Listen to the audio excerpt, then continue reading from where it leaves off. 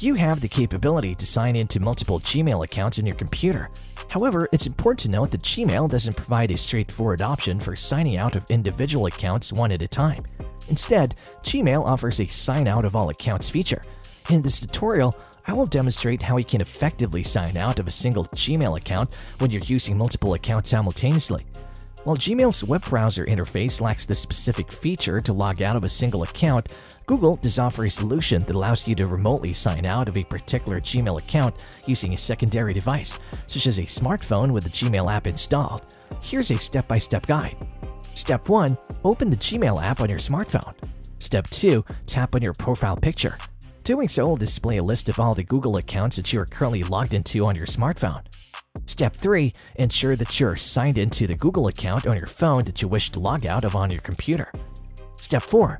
Tap on the Google account that you want to manage. This will take you to the account settings for that specific account. Step 5. Navigate to the Security tab within the account settings. Step 6. Scroll down to the Your Devices section and within it select Manage All Devices. Step 7.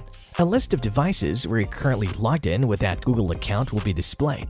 Additionally, it shows the last date when the account was used on each of those devices. Step 8. Choose the particular Windows or Mac device from which you want to log out. Step 9. Finally, tap the Sign Out button. Following these steps, Google will sign you out of the Gmail account on your computer. You will notice that you're no longer signed in to the specific Gmail account on your PC. Importantly, this action won't affect your other active accounts. While this method may not be the quickest or most efficient, it does effectively accomplish the task at hand. I hope you find this tutorial helpful. If you do, please consider liking and subscribing to this channel for more informative tutorials.